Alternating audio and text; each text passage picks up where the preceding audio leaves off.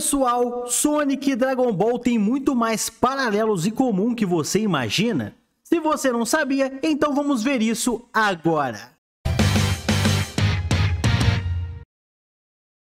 Fala galera, beleza? Cássio na área está começando mais um vídeo do nosso canal e hoje nós vamos falar de Sonic Z, que é algo que muitos fãs da franquia, tanto de Sonic quanto de Dragon Ball, já especularam pois Sonic e Dragon Ball têm muitos paralelos em comum e vamos mostrar para vocês que o nosso ouriço foi inspirado em Goku e Companhia Ilimitada. Vamos começar pelas Esmeraldas do Caos. Assim como as esferas do dragão, existem sete Esmeraldas do Caos.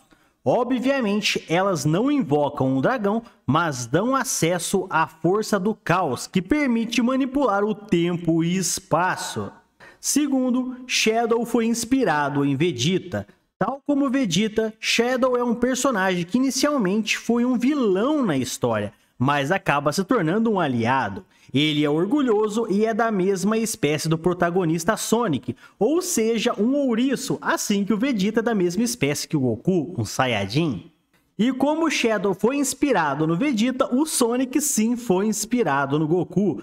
Sonic e Goku possuem muitos paralelos em comum, desde seus cabelos espetados, não curtem responsabilidade, comem bastante e amam aventura. E ambos possuem transformações super, com cabelos dourados. O Super Saiyajin do Goku é praticamente o Super Sonic, é a inspiração do Sonic para o Goku. Então, o Sonic foi inspirado no Goku. E para quem acha que para por aí, isso continua e vai muito mais além. O nosso personagem Silver foi inspirado no Trunks do futuro.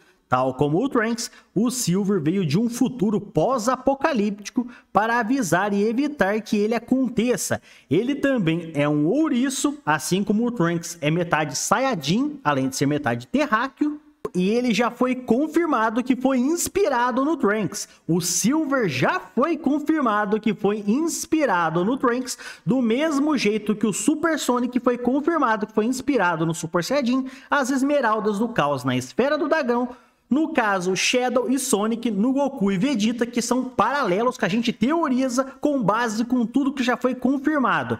E para quem acha que ainda para por aí, temos mais um ponto. Knuckles foi inspirado em Piccolo. Sim, pessoal. Tal como Piccolo, Knuckles veio de uma raça tribal se tornando inicialmente um inimigo para Sonic, mas acabando como um grande aliado. Ele também tem seu passado relacionado às Esmeraldas do Caos, do mesmo jeito que o Piccolo também veio de uma tribo, uma relação, uma raça tribal, que no caso é os Namekuseidin, e o Piccolo tem relação com as Esferas do Dragão, pois são os Namekuseidins que criam as Esferas do Dragão, do mesmo jeito que Knuckles tem ligação com o passado das Esmeraldas do Caos. E como eu disse, já foi confirmado que Super Sonic é inspirado, no caso, no Super Saiyajin. Sonic, Shadow e Silver conseguem usar uma forma super com cabelos dourados e espetados, tal como acontece com Goku, Vegeta e Trunks.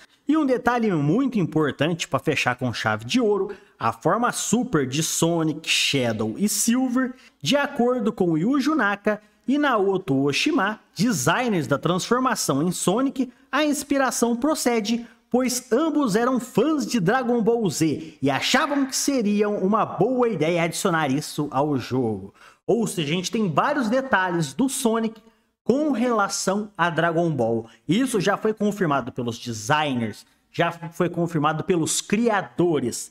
Então, se você quiser saber mais relações entre Sonic e Dragon Ball, se inscreve no canal, curte o vídeo, pois a gente vai trazer demais para vocês. Falou, fui!